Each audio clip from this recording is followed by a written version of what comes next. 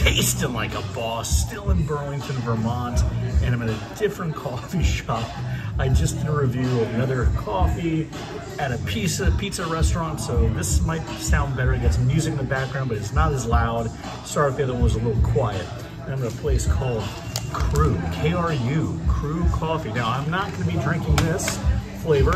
I use this in the thumbnail because look at that name. Doom Cup Blend. So awesome, but not as awesome possibly as dark as hell. Now, I purchased these guys. These are coming home with me back to Florida, and we're gonna be doing three-way reviews of these. There's no doubt. I really like the vibe in this place a lot. Um, this, in fact, I got a shirt. I don't even know if the coffee's good yet. I don't, do not know. The vibe was sweet, and I just, look at that. Look at that. Atlas blend. It's one of their dark roasts. They make their espresso out of that, they said. And I just thought that was pretty sweet. So be ready to see that in one of the reviews in the future. And of course, these here. Now, about the company, okay, it's a family-owned company. Their beans are roasted in Saratoga Springs, New York by the brother. The two sisters own the stores, or two of the stores.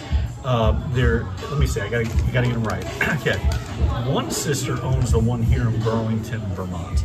One sister owns the one in Saratoga Springs and is in Saratoga Springs and the beans are roasted and the other place is in Glens Falls, New York. These are all places I anticipate driving through and being by at some point in the summer.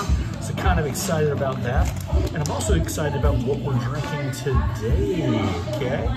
This is special, I think. It is a blend. It is a trifecta blend nitro cold brew. Again, I'm really liking what's going on here in Vermont. That when they give you a cold brew, they tell you what they're using as opposed to just cold brew and you're getting a cold brew coffee black and that's it.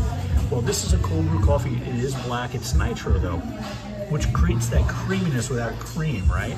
And what this is is a blend of three coffees. It's a blend of their Colombian, their Guatemalan, and their Ethiopian. Uh, is that right?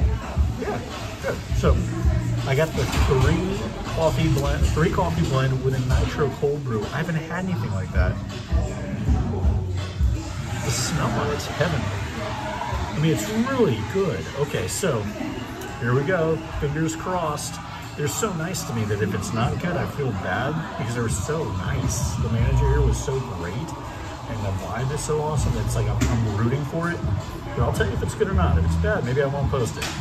Uh, hopefully it's good. Tasting like a boss.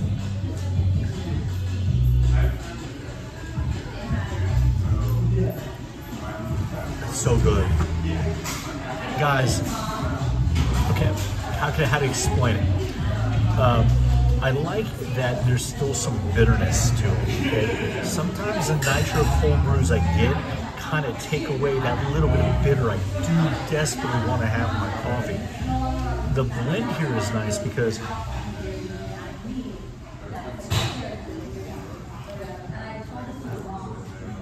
it just complements Nothing is overpowering. And yet it's not one of those flavors where it's dancing all around in my mouth. Sometimes I like to have that. Sometimes I like to have that feeling of it dancing all around in my mouth.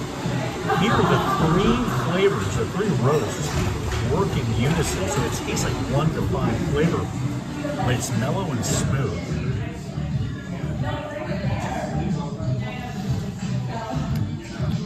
For me,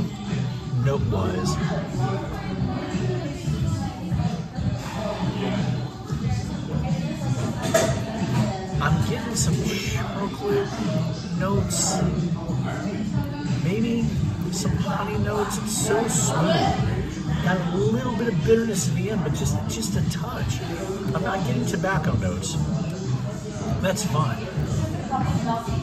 Yeah, I like that. I, I, I like it a lot. So hey, all right. So if you find yourself in Burlington, Vermont, first of all, great area. I've never been here before.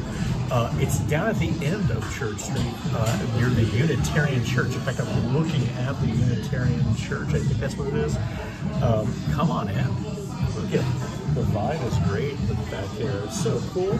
Uh, and the uh, coffees I'm looking forward to. The shirt I'll probably wear. So I'm a fan. I'm a convert. They're really, really good, and they got a whole bunch of other flavors as well. I'll put a link to the website below. Until next time, people, next time you see me, I'll probably be in Florida. And I'll probably have a chihuahua on my lap. So keep tasting like a boss. Thanks so much.